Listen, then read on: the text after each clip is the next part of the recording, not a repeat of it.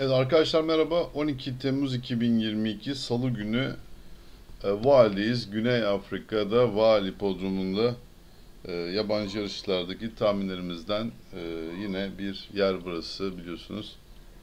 Hemen görüşlerimize geçelim. Birinci koşu 13.20'de oradaki birinci koşu aynı. Maiden 2 yukarı İngilizler 1800 metreye çıkacaklar.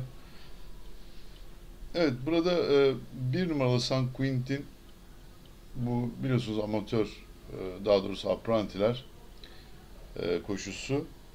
7 numaralı I Am Who I Am Van Staden bu 1 ve 7 normalde yeterli duruyor arkadaşlar. Tabii 2 numaralı Flag e, Bearer Gwyn's Visa ile o da ilk ikiye girebilir. Yani 1 7 2 normalde bahis oynayacaksanız eğer 3 at yeterli buraya. İkinci kuşuyla beraber altılı gayan başlıyor. Maiden dişiler, iki yaşlı İngilizler 1000 metreye çıkıyorlar. Şimdi tabii altılı gayanlarda mesela dün de e, ne oldu? AGF 1 düştü. Son anda 12 numaranın ganyanları arttı. E, tabii bu önemli nüans bunlar arkadaşlar. E, dünkü Greyville yarışlarında e, ilk ayakta %60 küsürlük oran düştü. E, yani çok fazla AGF birileri güvenilmiyor. Onu söylemeye çalışıyorum. Özellikle %60 e, veya 70 arası e, benim hiç tasvip etmediğim yani aklınızı bulunsun bakın bir takip edin. E, AGF %60 ile 70 arasında çıksın.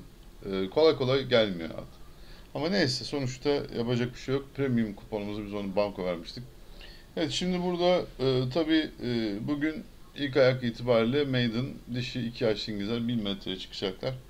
8 numaralı Tayoba Kumalo ile 1 numaralı A Time to Flower Matsunyane ile bu ikisi e, arkadaşlar zaten e, burası için normal şartlarda yeterli gibi dursa da ilk kez koşacak olan atlar da var işte ikinci kez gördüğünüz gibi 3 numaralı e, Jinkin Craigzaki 6 numaralı Silver Winter Muzieni ve 2 numaralı Above the World Ransburg'la burada bir ses getireceğini düşünüyoruz.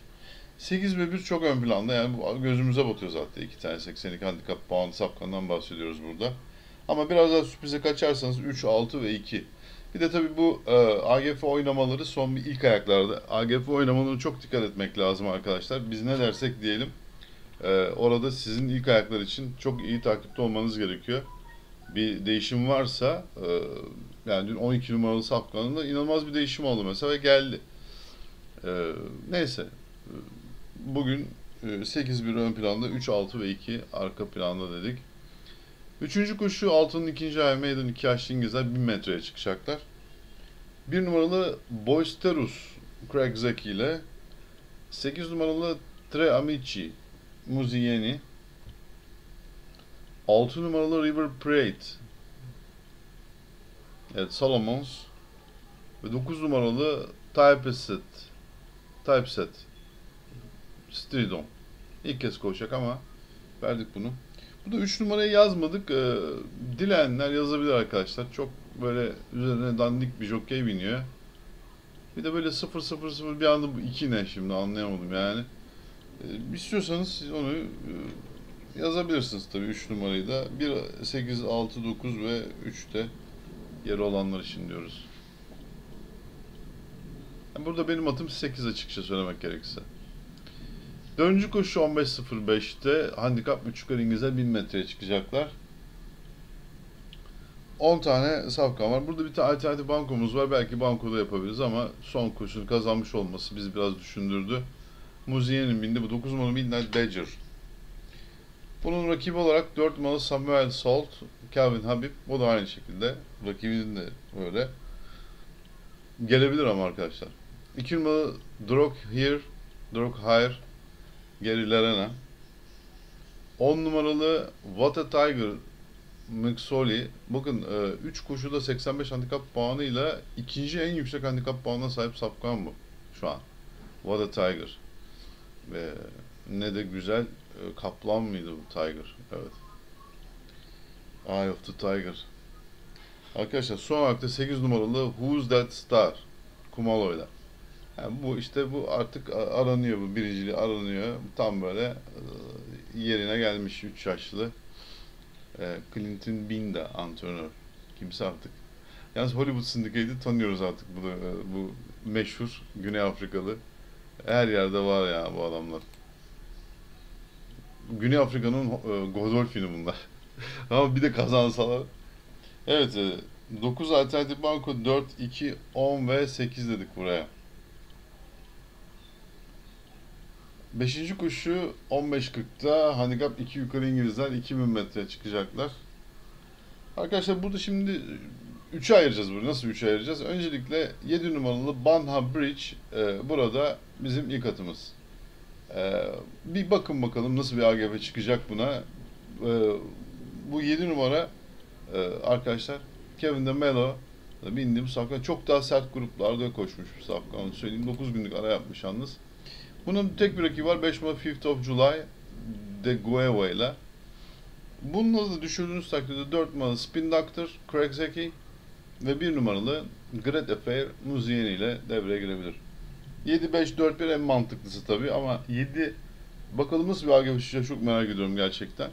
Sert gruplarda gözüküyor. 54 kilo ile bomboş koşuyor. 2000 metre.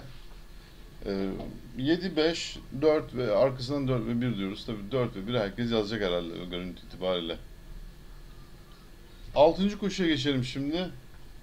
6. koşu handikap 2 yukarı İngilizler 1600 metreye çıkacaklar. 6 tane safkan var burada. Evet arkadaşlar 6. koşuda bizim bugünkü bankomuz var. O da 1 numaralı Ocean Warrior Muzi Yeni ile. Bu grubun üstünde artık Muzi bunu getirir hele Muzi. Muzaffer abi getirir mi yani Muzaffer Yeni. Herkes Türk diye bir şey var yani bunu Türk isimlerinden gelmiş. Ee, bu Muzaffer bunu getirmezse e, iyi olmaz ama bu grubun üstünde e, bu Muzaffer abinin bindiği bu safkan Ocean Warrior. Evet. Okyanus Savaşçısı. Vay be. Atın ismi Okyanus Savaşçısı. Bir numara arkadaşlar bankomuz bizim. 7. koşu 16.50'de handikap 2 yaşlı İngilizler 1600 metreye çıkacaklar. Alternatif bankomuz var. Ee, bu Muzaffer abinin atına güvenemiyorsanız bunu yazabilirsiniz. Ee, daha da verdik de evvelde var demiştik. 8 numaralı Duke of Sussex Craig Zeki ile burada alternatif banko. Burada arkadaşlar iki tane birincilik arka arka hiç sıkıntı değil. Ee, yapıştırıyorlar burada bulundu mu güzel grubu geliyorlar. 7 numaralı eski Mopay Kevin Habib'le rakip olarak rakip noktasında yani. Ee, ve e, yine bir at veriyoruz 3 numaralı Vafif. Vafif. Köpek ismi gibi. D- e, Danielson'la Ray Danielson. Ve 5 numaralı Leopold. Kevin de Melo ile. Evet. Böylece arkadaşlar e, burası 8 alternatif banko 7, 3 ve 5 dedik. Yani böyle bir küçük kupon oluşturabilirsiniz diyoruz arkadaşlar. Evet, e, VAL ile ilgili görüşlerimizin sonuna geldik. E, herkese güzel ve neşeli bir bayram günü geçirmesini diliyoruz arkadaşlar. Bayramın e, biliyorsunuz e, son günü, salı günü, son günü. E, inşallah nice mutlu bayramlar olsun diyelim. E, tabii ki e, Colonel Downs için premium üyelik gerekiyor ve Beverly için açık arkadaşlar. Herkes izleyebilir. Evet, bir sonraki videoda görüşmek üzere. Hoşçakalın.